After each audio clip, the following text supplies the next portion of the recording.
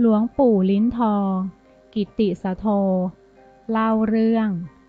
เหตุเกิดบนรถโดยสาร หลวงปู่ตื้อดังระเบิด ไว้ดังนี้ เส้นทางเชียงใหม่แม่แตง ในสมัยนั้นยังไม่เจริญเอามากๆ แต่ก็มีรถยนต์โดยสาร วิ่งรับส่งผู้คนบนเส้นทางนี้แล้ว ในปีที่หลวงปู่ตื้อกำลังบุกเบิกสร้างวัดป่า ท่านจะต้องเดินทางไปไปมามา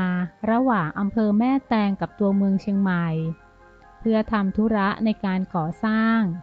จึงจำเป็นต้องขึ้นรถโดยสารประจำทางไปมาอยู่บ่อยๆ พวกรถโดยสารจะชินตากับ หลวงตา พระป่าแก่ๆ กับสิทธิ์ชาวเขาสะพายย่ามเดินตามต้อยๆ พวกรถโดยสารคงรำคาญและหมั่นไส้หลวงตา พระป่ารูปนั้นเอาการอยู่ เพราะว่า พอขึ้นไปนั่งบนรถปุ๊บ พระหลวงตาก็เอาเท้าขึ้นนั่งขัดสมาธิบนเบาะปับ๊บ แล้วก็นั่งหลับตาปี หลับเฉยโดยไม่สนใจใคร ช่างน่าเบื่อหน่ายและน่ารำคาญจริง ผู้โดยสารคนอื่นๆ นั่งห้อยขา เบาะเดียวนั่งได้สามสี่คน แต่หลวงตาแก่รูปนั้นนั่งเอเต้อยู่คนเดียว เด็กหนุ่มกระเป๋ารถจึงพูดกึ่งขอร้องกึ่งไม่พอใจ ป้อหลวงตู้เจ้า ตื่นตื่นเอาตีนลงจากเบาะเนอร์ลงบ่อได้ หลวงปู่ตอบทั้งๆทที่หลับตาอยู่ กระเป๋าเริ่มโมโห เลือดขึ้นหน้า ขณะนั้นรถกำลังตะเวนรับผู้โดยสารตามรายทาง กระเป๋าหนุ่มสะบดเสียงดัง มันเป็นไอ้หยางฮึจึงเอาตีนลงบ่ได้ พร้อมกับเอามือกระชากขาของหลวงปู่ เพื่อที่จะเอาลงจากเบาะทันใดนั้น ครืด ครืด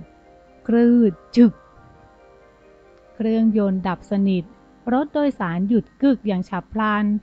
ผู้โดยสารหัวขมำไปตามๆกัน หลวงปู่พูดขึ้นว่า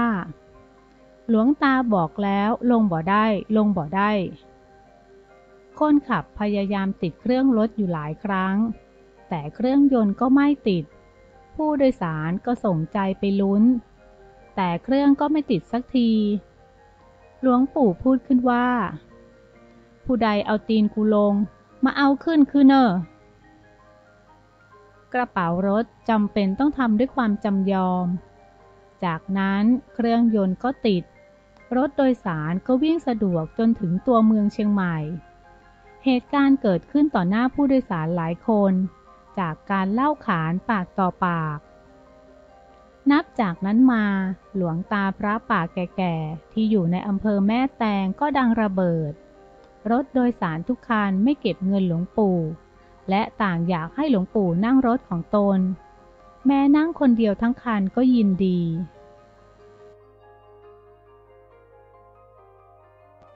มงคลหมา เรื่องที่หลวงปู่ตื้ออาจละธรรมโม ชอบพูดประกอบในเวลาที่ท่านสั่งสอนสิทธิ์หรือบางครั้งในการแสดงพระธรรมเทศนา ท่านมักจะยกเรื่องความดีของสุนัข ซึ่งท่านเรียกว่า มงคลหมา บางคนอาจเข้าใจว่าเป็นเรื่องชวนขำ แต่ว่านำไปพิจารณาแล้วจะเห็นว่า หลวงปู่ได้พิจารณาเกี่ยวกับสัตว์ ซึ่งเป็นสายของสัตว์โลก มีการเกิด แก่ เจ็บตายเหมือนกันหมด การนำมาเปรียบเทียบกับชีวิตของคนก็ไม่น่าจะเป็นเรื่องเสียหาย หลวงปู่บอกว่า บางครั้งสัตว์ยังดีกว่าคนบางคนเลยอีก สัตว์ทุกจำพวก มันมีดีประจำอยู่ในตัวของมัน ตามภูมิของมัน การพิจารณาชีวิตของสัตว์ อันเป็นเครือของวัฏสงสารเหมือนกันนี้ เป็นการหาอุปมาหาเครื่องเปรียบเทียบ ดังนั้น เวลามีโลกธรรมครอบงำเราก็สามารถพิจารณาหาเหตุผลไม่ยับยั้งชั่งใจได้ เช่น ถ้าใครเขาด่าเปรียบเปรยว่า เราเป็นหมาก็ไม่น่าจะโกรธ เพราะหมาก็มีความดีหลายอย่าง หลวงปู่ตื้อท่านบอกว่า ลองพิจารณาดูให้ดีจะเห็นว่า หมาก็มีมงคล คือ ความดีประจำตัวอย่างน้อยก็ 20 ประการ คือ 1. หมาวิ่งได้เร็ว คนวิ่งตามไม่ทัน 2. หมาเดินกลางคืนได้ไม่ต้องจุดไฟ 3. หมาเข้าป่าหนามไม่ปักตีน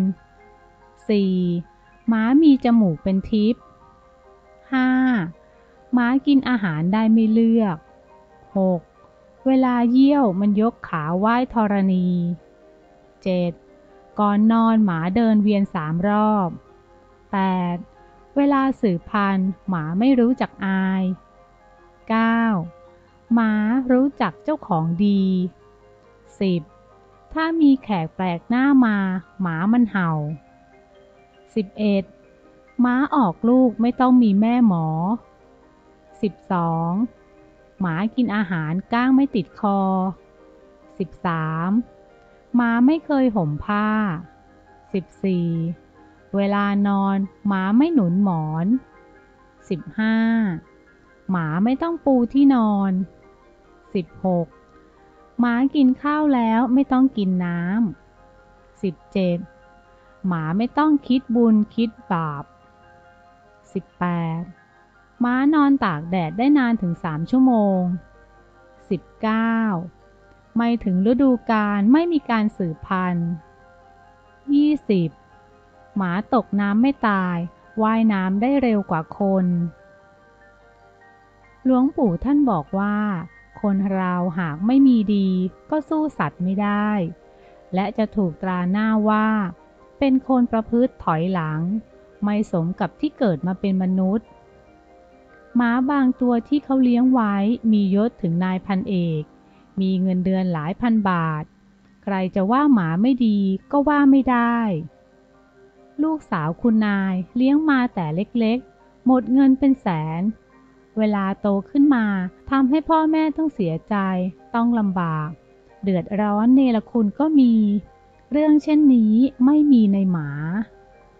หลวงปู่ยกมงคลหมาขึ้นมาแสดง เพื่อให้เราเห็นเป็นเครื่องเปรียบเทียบว่า คนเราถ้าไม่มีศีลธรรมก็ไม่ต่างอะไรจากสัตว์ เพราะมีการกิน การนอน การสืบพันธุ์เหมือนกันก็เท่านั้น พระเดชพระคุณหลวงปู่ตื้ออาจละธรรมโม พระอริยะเจ้าผู้มีปฏิปทาประดุษเสือโครง่ง วัดป่าอารัญญวิเวก บ้านขาอำเภอศรีสงคราม จังหวัดนครพนม พระอริยะเจ้าชื่อดังแห่งภาคอีสาน เป็นสิทธิ์ที่สำคัญรูปหนึ่งของท่านพระอาจารย์มั่นภูริทัตโต ท่านเป็นผู้มีนิสัยรักความสงบสันโดษ ท่านเข้าเป็นสิทธิ์วัดตั้งแต่ยังเด็ก และได้รับการบรรพชาเป็นสัมมเนนอยู่ระยะหนึ่ง เป็นผู้ใฝ่ใจในการศึกษา มีนิสัยตรงไปตรงมา ข้อวัดปฏิบัติเข้มแข็งเด็ดเดียว เอาจริงเอาจัง นิสัยผงผาง พูดจาขวานผ่าซาก มีลีลาในการแสดงธรรมแปลกกว่ารูปอื่น มีคำคมคำขานแฝงอยู่เสมอในเทศนาธรรม โดยส่วนมากภาวนาอยู่ตามท้องถ้ำในป่าลึกทางภาคเหนือ เช่น ถ้ำเชียงดาวเป็นต้น ปฏิปทาของท่านอาจหารสมกับเป็นนักรบธรรมของท่านพระอาจารย์มั่น ลักษณะนิสัยท่านเป็นประดุดเสือโครง่ง และท่านมักปฏิบัติกรรมฐานอย่างอุกฤษ โดยถือเอาเสือโคร่งเป็นแบบอย่าง โดยอริยบทสี่คือ 1. ต้องมีน้ำจิตน้ำใจแข็งแกร่งกล้าหาญในการเที่ยวทุดงล่ากิเลส ประดุดเสือตัวเปรียว เที่ยวล่าเหยื่อไม่กลัวต่อพยันอันตรายใด ๆ 2. ต้องกล้าเที่ยวไปในค่ำคืน ประดุดเสือไม่กลัวต่อมรณะภัยในความมืด 3. ต้องชอบอยู่ในท้องถ้ำที่สงัดจากผู้คน ประดุดเสือหลีกเร้นซ่อนตัวอยู่ในถ้ำอันลึกลับ ที่ผู้คนเข้าไปไม่ถึง 4. คิดทำอะไรลงไปแล้ว ต้องมุ่งความสำเร็จเป็นจุดหมาย ประดุดแววตาเสือได้จ้องเขม็งไปที่เหยื่อรายใดแล้ว ต้องตามตะปบขย้ำจนสำเร็จ